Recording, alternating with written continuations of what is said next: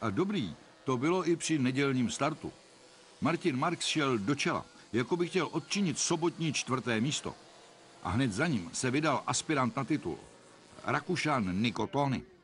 Bohužel krátce po startu upadl domácí Jan Drkoš. Když domluvil svému stroji, začal stíhat.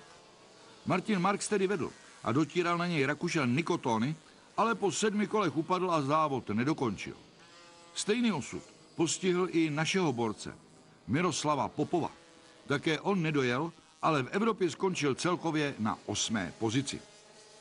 Ve velké skupině se po zranění dobře rozjížděl Karel Hanika. Nakonec dojel šestý. V šampionátu obsadil 16. pozici. O příčku níž skončil Jan Drkoš.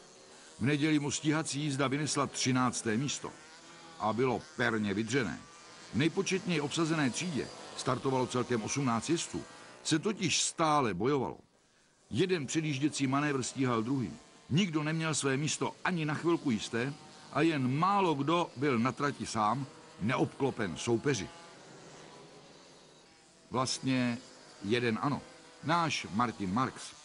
Po pádu Tonyho si vyjel pětivteřinový náskok před Italem Nicolo Antonelim a ten si neustále udržoval, i při předjíždění některých soupeřů o celé kolo. A vydržel až do cíle.